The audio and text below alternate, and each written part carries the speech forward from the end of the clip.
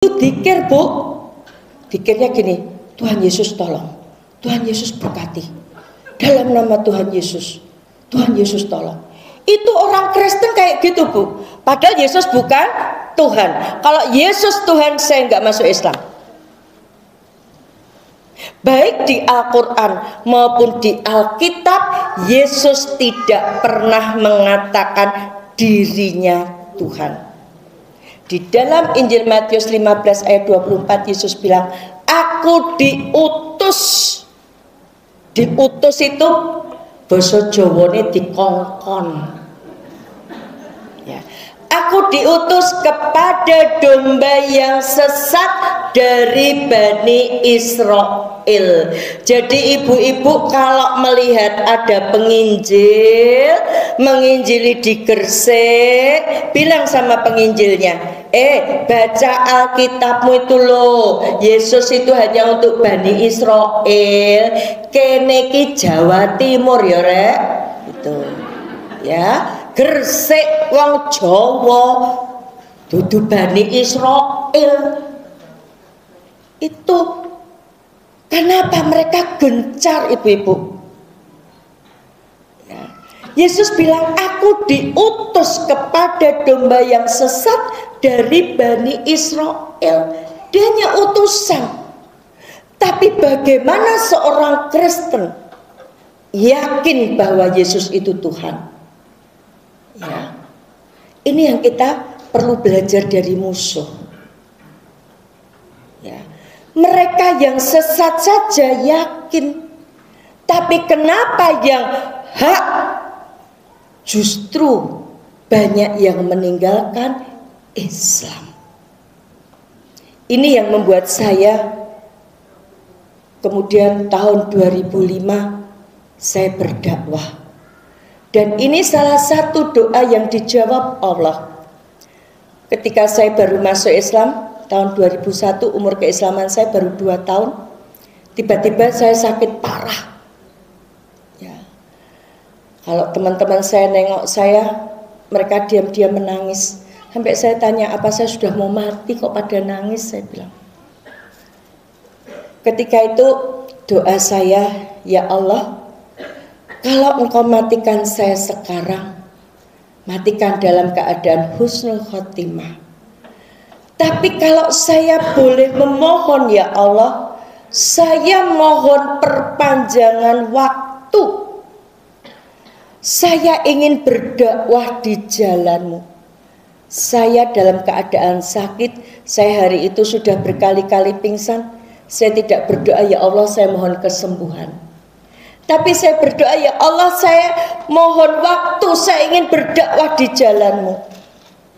Dalam keadaan sakit saya tidak memikirkan diri saya sendiri. Tapi yang terbayang adalah bagaimana saudara-saudara saya muslim murtad. Ibu saya memurtadkan tokoh agama Islam di kampungnya. Hasil didikan ibu saya, kami tiga bersaudara aktivis adik saya sampai sekarang masih jadi pendeta di Cimahi Bandung sejak tahun 90 dan targetnya anak-anak muda Islam ibu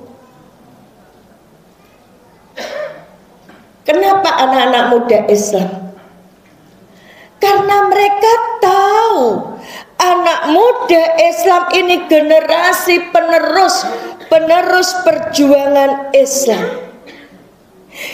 Ibu bayangkan kalau anak-anak muda Islam sholat malas, ngaji nggak mau, pengajian nggak berangkat.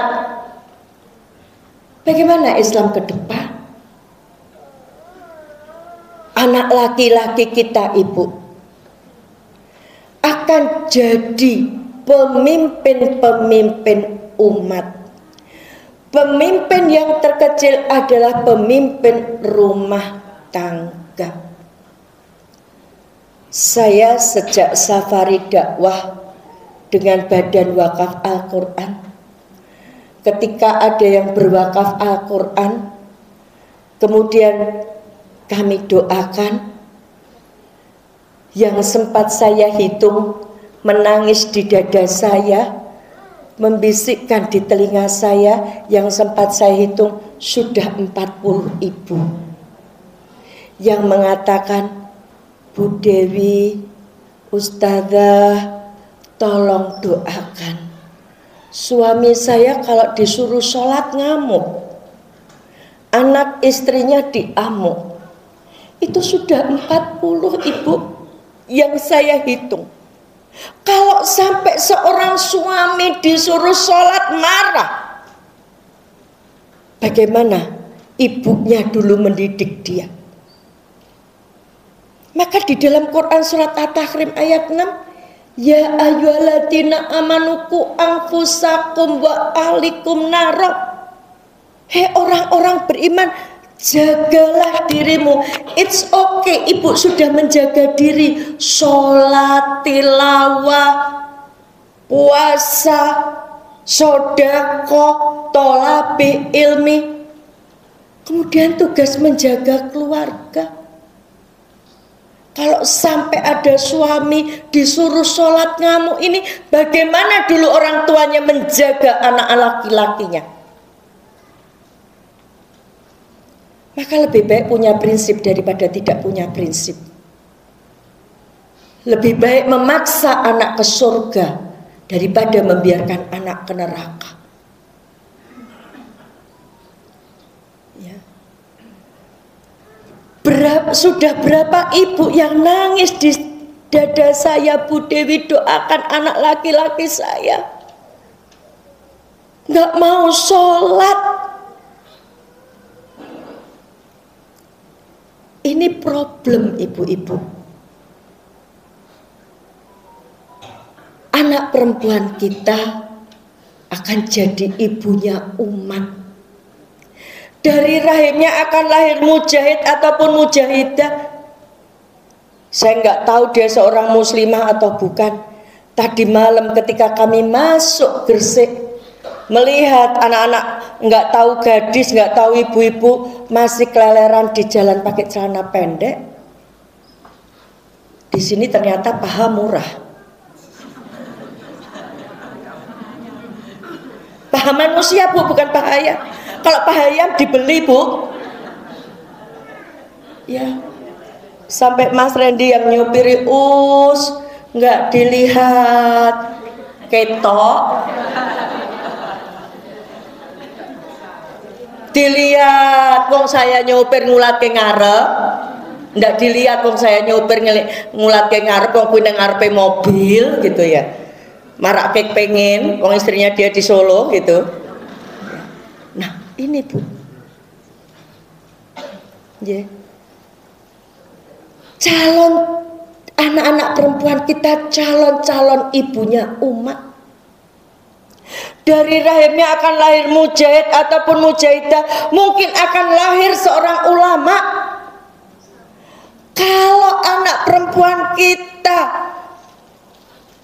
suruh sholat masih M. Udah seminggu. Udah dua minggu masih M udah tiga